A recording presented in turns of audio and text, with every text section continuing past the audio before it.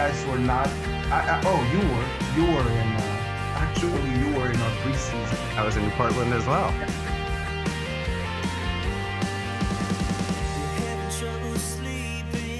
Want to cover playoff hockey in Vancouver. I want the fans to enjoy and experience playoff hockey in Vancouver. I want the Canucks to win a Stanley Cup for this city. And looking at Raptors Twitter right now, a fade for Cade. I feel like a lot of them are, are, are you know, would, would, love to see would love to see him there. I mean, I'm, I'm not advocating for that, but I mean, I know that's that's big on Raptors Twitter minds these days. There's a lot of t- a lot of Twitter warriors out there. LA gave one out to to uh, to Jared Goff, and they've already moved on. Correct. They didn't think that that could work for them. It's all good. It's in it. It's in the box. It's in the box. Okay. For the Unnamed Sports Show, here's your host, Joshua Griffith. Yes. Thank you, Don Andrews. And yes, I am your host, Joshua Griffith, here on the Sports Talkline Network, where we talk sports 24 7, 365. This is the Unnamed Sports Show. I hope that everyone enjoyed that brand new revamped introduction. I want to give a special thank you to the matinee, Don Andrews, of course, and my producer, Lucas, for all their help putting that together. So I hope that everyone really enjoyed that, being the music and the voice for the Unnamed Sports Show. If you don't already, make sure to check out the matinee's music on Spotify or wherever you get your music. They are a fantastic local band out of Vancouver. So Today on the show, I am so thrilled to be joined by Vancouver Whitecaps FC forward and Canadian men's national under 23 member Theo Bair. So the Caps kick off their season on April 18th. I wanted to chat with Theo, get caught up about his off season, his time with the Canadian men's national team, and kind of look ahead to this season. Um, bit of fun stuff, of course, at the end, as I like to do. But before we get to that interview, make sure that you like the video down below, subscribe to the Sports Talk Line channel, and uh, leave a comment. Let me know what you think of the interview and the Whitecap season in general. So, without further ado, let's get right to this interview with Vancouver Whitecaps forward Theo Bair. All right, so I'm thrilled to be joined now on the Unnamed Sports Show by Theo Bair of the Vancouver Whitecaps and the Canadian men's national under 23 team. Theo, thank you so much for joining me today. First off, how are you doing? How's the family? You guys staying safe and healthy? Yeah, everything's great. Um, just moved out to Salt Lake. Families get back home in Ottawa. Um, just one sister in Vancouver, um, thriving as well. So everything's good. Good. Yeah, you've been a, a bit of a traveler lately. So uh, how has everything been settling into Portland? Uh, how's the accommodations and everything like that? Yeah, Salt Lake's like it's very nice. Um, there's no complaints at all. The apartments are very nice. Uh, every the training is, is good. The facility is nice. I think that they've uh, accommodated as well. The the backdrop for uh, for Tuesday's preseason game was was absolutely breathtaking with the mountains yeah. in the background. So it, if you're going to be you know sequestered away from home, it's definitely not that bad of a place to be. So I agree. So the team is obviously become road warriors in the last couple of seasons. Um, how how difficult has it been for you being away from your family for so long? As I know that's something that's really important to you. Yeah, I mean, I'm a little used to it because I left at such a young age. Um, it is difficult to say the least, but um, they understand that that what I'm doing is worth it and that um, that I'm I'm doing I'm, I'm being successful. So as long as it stays that way, then uh, they have no issue with me being away from them. Well, that's good. And and like you said, yeah, you have been successful. Just returned from a, a call up to the Canadian national men's under 23 team. Obviously, not the the result that you guys wanted, but how was the experience for you to play on that kind of a stage under uh, Mauro Biello? I think it was it was a very interesting tournament to to see the level of of play and to see that Canada can compete at that level of play was yeah. was very very nice to to see. I'm unfortunate how it ended, obviously, but um, I think it was a learning experience for everyone that was on the team and that um, everyone grew from it and, and gets to come back to their clubs and, and go into preseason strong. I mean, obviously experiences like that, you know, you get to be, to be with players that you've, you know, grown up with playing in the, in the national teams and stuff. What, what was one of the, the coolest experiences for that, just that tournament that, that you had? I mean, I got to see I've been playing against Ryan Raposo and Tajon Buchanan since I was probably, I want to say like 12. So, or maybe even 11. So, getting to see those guys uh, with me on the Canadian national team and see where we've come from, from, from so far away from, from almost nothing basically to, to all playing together was, uh, it's the stuff of dreams, right? So, it's really cool. I'm happy for those boys, and I'm, I'm happy for all the boys that that got their chance. I, I was really happy to to see Patrick and Baldy play so well and Derek play so well, um, and have all our Caps boys in at a national team camp is really cool. You guys represented for the Caps. It was really nice to see. Mm-hmm. Um, so how how was it overall to just represent your country? And then obviously, you know, you last year in your debut, you scored the goal against Barbados. Um, what's just, just been like overall, I guess, the experience with Canada and the national team? I mean, it's amazing. You're with you're with people that you love. You're smiling all the time. It's a lot of fun. Uh, it's like being with your brothers constantly, and um, yeah, it's it's it's quite the experience. The coaches make it very simple and easy for you to to to know the tactics to to play, um, and the players are just everyone's accommodating. Even when I was with the first team, obviously I was nervous the first time, but they were all very accommodating, treated me like uh, like I was part of the family, and I am part of the family now. So it was it was an amazing experience for sure.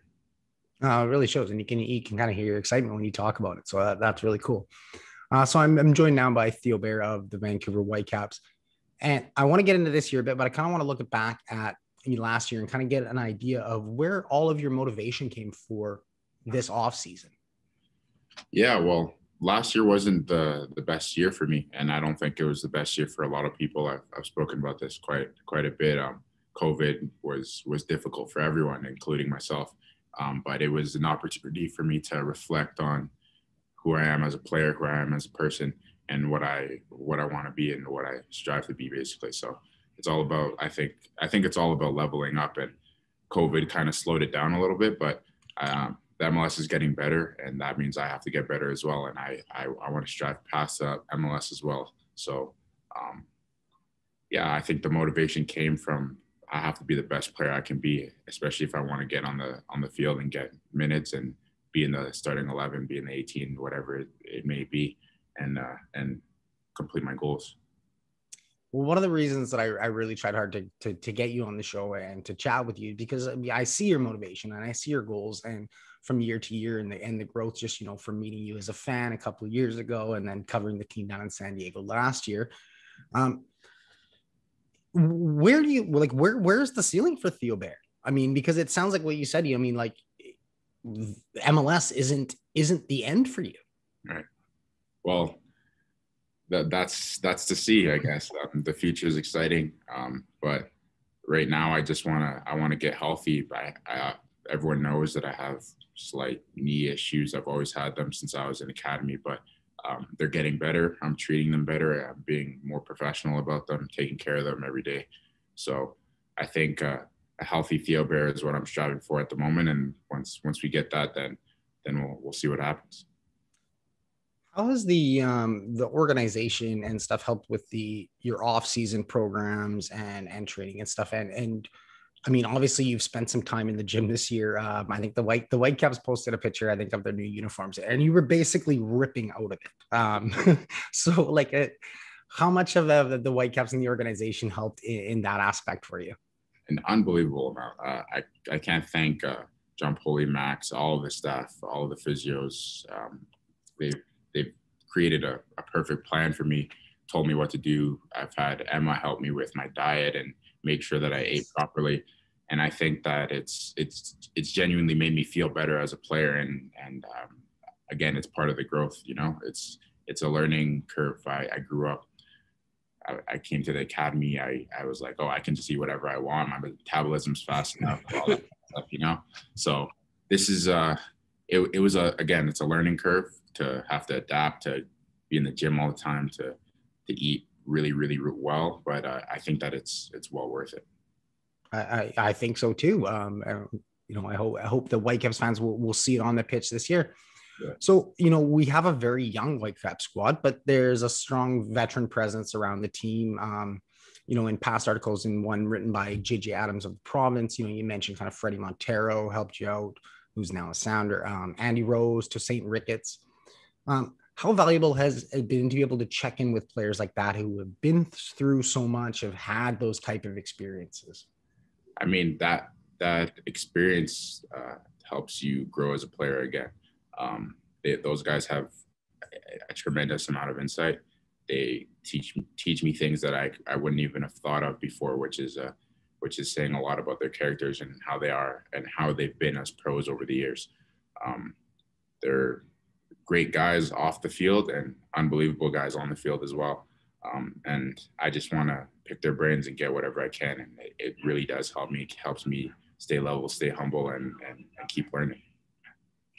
So how is the? I mean, obviously, Marc Dos Santos talked last week about everybody was just trying to finalize plans, getting things ready for the family and their dogs, moving things over and stuff. Um, how has the locker room been and the team kind of been adjusting to the the move down to Utah? I mean, everyone has a smile on their face, so my assumption is uh, it's not too bad, and uh, we're we're in great living conditions. Um, we're all like it's a happy locker room. We're all good friends once we get on the pitch, it's it's all business. But uh, I think that that we have a very good group on our hands. Well, I'm, I'm joined by Theo Bair, Theo Bair here, and uh, Theo, I won't take up much more of your time, but who who controls the music in the locker room right now? Um, I mean, it depends. There's a lot of Spanish music given the amount of Spanish guys we have. Um, but it, it kind of jumps around.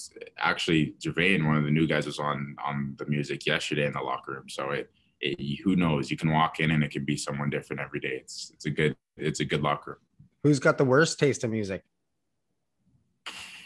Worst taste. You don't have to throw anybody under the bus. I understand it.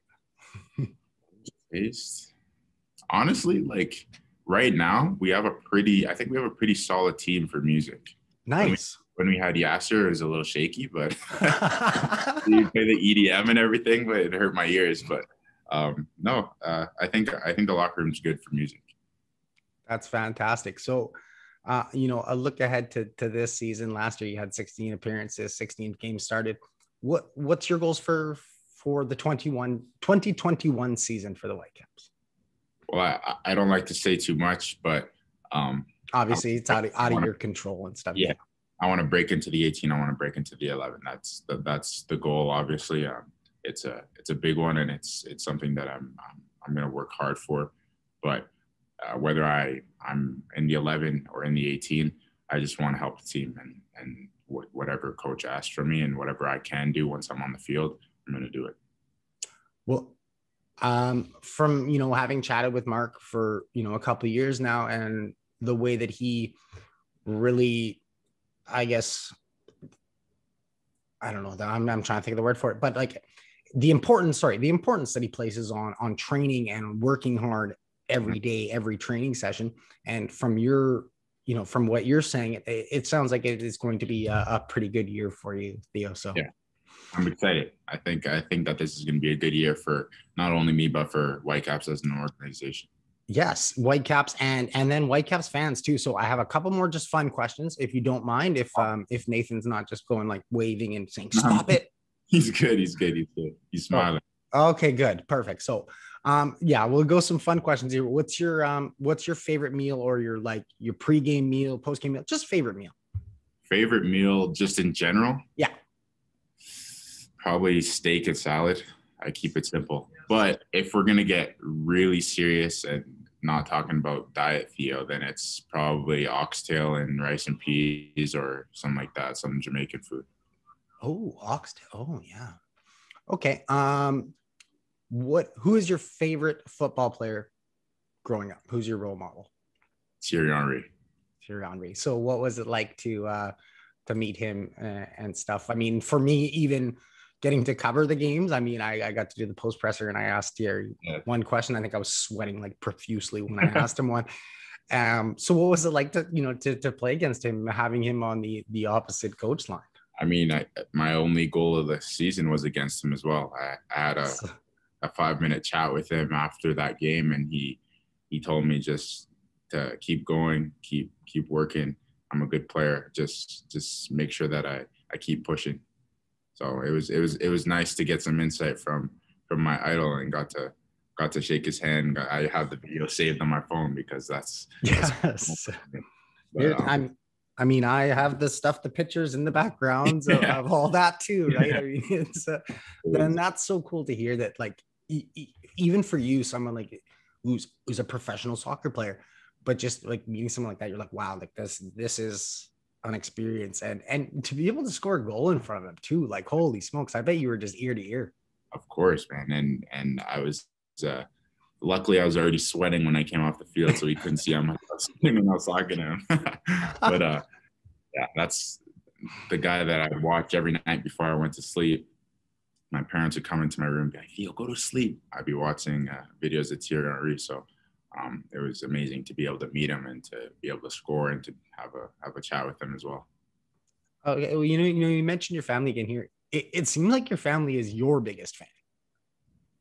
Hundred percent. my uh, my dad, no matter what time the game's at, will watch the game um, deep into the night if he has to. Um, my mom works like very early, so she will she will stay as long as she can as well. And honestly, most of the time is there as well. My sisters watch. Um, even my sister's boyfriends are watching at the moment, so it's like, um, yeah, my family's my my biggest supporter. and that's that's really cool and that's really important and i know that's important to you so theo um thank you so much for joining me today and, and chatting i know you guys are had training today and training tomorrow and then you're traveling off to chicago for the games on saturday Sure. yes um are you are you excited for the preseason doubleheader here and get the season kicked off on the 18th of course, uh, and getting getting to play some games before we we get into the real thing is is really exciting. So um, yeah, just just look forward to to Saturday. fantastic okay well do you have any messages for whitecaps fans this year Just enjoy every moment. We're gonna have a good year. Let's go. Fantastic. Thank you so much, Theo. Um, have a fantastic rest of the day and safe travels for you and the team tomorrow. Thanks for having me, man. Talk to you soon. All right. So I hope that everyone enjoyed that conversation with Theo as much as I did. It was a lot of fun to catch up with him. Uh, I haven't chatted since um, since San Diego, actually. Uh, so it was good to see how his offseason was progressing and get caught up with everything uh, with the team coming down in Utah. So the Whitecaps get their season underway on April 18th. Like I said, they have a home date in Sandy, Utah against the Portland Timbers. But before that, we have a doubleheader action this Saturday on the 10th against Chicago Fire starting in the morning, and then against Indy 11, the USL champions, just after that. So we'll be a split squad and in media availability on Wednesday.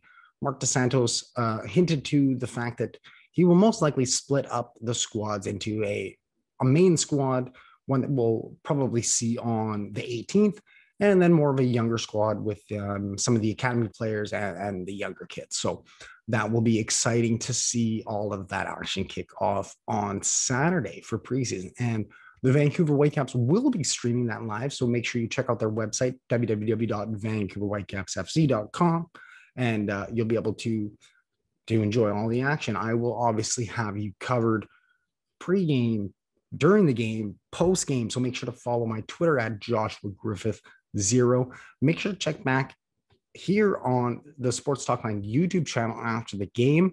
And also check out our website at www.sportstalkline.com.